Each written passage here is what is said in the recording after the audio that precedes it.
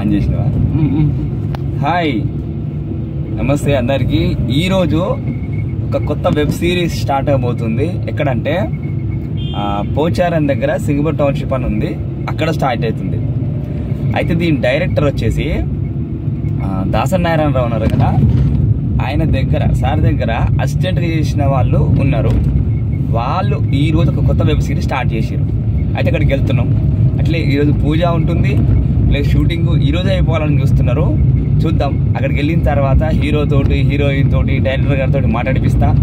ఎవరికైనా అవకాశాలు కావాలన్నా కూడా ఆ మాట్లాడి సెట్ చేద్దాం. ఏదో ఒకటి చేద్దాం. అయితే నాతో ఉన్నాడు ఈ పెద్ద మనిషి. కొత్త సినిమా స్టార్ట్ పనిచేయకు ఉంచు. అయితే సినిమాలో రావడానికి ఈయన కూడా ట్రై చేస్తున్నాడు. నాతో పాటు తిరుగుతున్నాడు. చూడండి. ఇప్పుడు మేము ప్రజెంట్గా మేడిపల్లి దగ్గర ఉన్నాం. మేడిపల్లి నుంచి నారపల్లి నారపల్లి తర్వాత పోచారం పోచారం తర్వాత సింగపూర్ టౌన్షిప్ ఇక్కడ ఉంటుంది. అడిగి పోయిన తర్వాత వాళ్ళు ఎట్లా చేస్తారు ఏంది ఆ వీడియోలు కూడా పెడతా. చూడండి. అట్లనే కొత్త వాళ్ళు ఉన్నారు కదా కొత్త వాళ్ళు చాలామందికి నా నెంబర్ పోయింది వాట్సాప్ నెంబర్ పోయింది అది బ్లాక్ అయిపోయింది మొత్తానికి. మరి ఎవరు చేసారో తెలియదు కానీ మొత్తానికి బ్లాక్ అయిపోయింది నాది. నా నెంబర్ ఉంది కదా double seven nine four zero four five three eight two number ఉంది కదా. ఆ నెంబర్కి కాల్ చేసి లేదంటే వాట్సాప్ పెట్టినా సరే మీ ఫొటోస్ మీ పిక్స్ వీడియోస్. ఇంతకుముందు ఏమైనా చేసి ఉంటారు కదా? షార్ట్ ఫిలిమ్స్ కానీ ఏదైనా చిన్న చిన్న బిట్లు ఏమైనా ఉంటే నాకు పంపండి. నేను మీకు అవకాశాలు ఇప్పిస్తా. అట్లనే ఎవరైనా సినిమాల్లో ప్రొడ్యూస్ చేయడానికి తక్కువ బడ్జెట్లో చేయడానికి నేను రెడీగా ఉన్నా. ఎవరైనా ప్రొడ్యూస్ చేయడానికి అంటే లక్ష యాభై వేల నుంచి లక్ష రూపు చిన్న చిన్న సినిమాలు. చిన్న చిన్న ఇప్పుడప్పుడే తీసుకుందాం. ఎవరైనా ఇంట్రెస్ట్ ఉంటే రండి.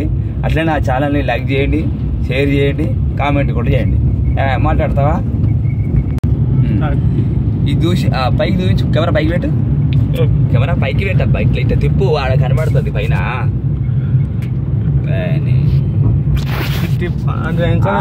అది కనబడుతుంది కదా? ఇది మేడిపల్లిలో ఫ్లైఓవర్ ఇటు తిప్పిగా. మేడిపల్లి దగ్గర ఉన్నాం ఇప్పుడు మేము అందరం. అంటే మేము ఇద్దరే పోతున్నాం. ఆల్రెడీ అక్కడ వెళ్ళిపోయారు అందరూ. మేమే కొంచెం లేట్గా పోతున్నాం. మన మన గురించి తెలుసుగా ఎప్పుడు లేటే. వన్ అవర్ లేట్ అయిపోతాం ఎప్పుడైనా మేము. పొద్దున్న లేవాలంటే దోద తీరిపోతుంది. ఎండకి. మామూలు ఎండ. అయితే ఇప్పుడు ఇంకో డైరెక్టర్ అని చెప్పిన కదా దాసనారాయణ గారు అసిస్టెంట్గా చేసిన డైరెక్టర్ అని చెప్పిన కదా ప్రభాకర్ సార్ వచ్చేసి ఇప్పుడు ఆడ మన గురించి వెయిట్ చేస్తున్నాడు. అన్నది కూడా ఫ్లైఓవర్ ఉంది కదా అక్కడ వెయిట్ చేస్తున్నాడు. ఆయనను తీసుకొని సార్ని తీసుకొని అక్కడ నుంచి టౌన్షిప్కి వెళ్ళిపోవాలి. ఇది వచ్చేసి నారపల్లి. ఇప్పుడు నారపల్లి ఎంటర్ అయినాం ఇప్పుడు. ఎట్లా అనమాట పరిస్థితి అది ఎట్టుంది అటు ఇటు ఫ్రంట్ కెమెరా ఆన్ చేసినావా? Okay okay. వాళ్ళు ఏడు గంటలకు రమ్మంటే మనం ఎనిమిది బాగా పోతున్నాం. గంట లేటు. అయినా ఆడ కూడా లేచారో లేవో తెలియదులే. మొత్తం చలి ఘోరంగా చలి ఈరోజు ఈ షూట్ ఉంటుంది. ఈరోజు అంటే ఇది డేట్ వచ్చేసి ఈరోజు ఎనిమిది తారీఖు కదా? ఎనిమిది తారీఖు ఆదివారం ఈరోజు పొద్దున్నే. ఈ వీడియో తొందరగానే రిలీజ్ చేసేస్తా. ఇక లేట్ చేయ మా ఎడిటర్లు చాలా ఫాస్ట్ ఉన్నారు. అందుకని తొందర తొందరగా చేసేస్తా. గడ్డ బాగా విరిగిపోయినట్టుందిగా గడ్డ కూడా బాగా విరిగింది అయితే.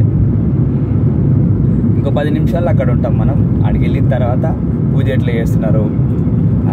వాళ్ళు ఏమేమి చేస్తున్నారు ఏమేమి కార్యక్రమాలు చేస్తారో మొత్తం చూద్దాం. ఇట్లా ఏ కెమెరా వాడుతున్నారు ఆ కెమెరామెన్ ఎవరు ఇంతకీ డైరెక్టర్ ఎవరు ప్రొడ్యూసర్ ఎవరు ప్రొడ్యూసర్ ప్లస్ హీరో ఆయన రెండు ఆయననే. హీరోయిన్లు ఎవరో తెలియదు నిన్న అమ్మాయిని మాట్లాడారు కానీ ఆ అమ్మాయి పాపం క్యాన్సిల్ అయింది. జ్వరం వచ్చిందంట.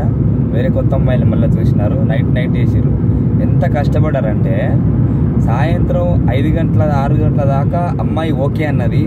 సడన్గా నైట్ తొమ్మిది గంటలకు ఫోన్ చేసి నేను రాను రేపు అన్నది. ఓయమ్మనే నైట్ సడన్గా పొద్దున పొద్దున ఆరు గంటలకి షూట్ పెట్టుకొని నైట్ తొమ్మిది గంటలకు ఫోన్ చేసి ఆ హీరోయిన్ నేను రాను సార్ నాకు ఇబ్బంది ఉందని చెప్తే పరిస్థితి ఏంది ప్రొడ్యూసర్ది?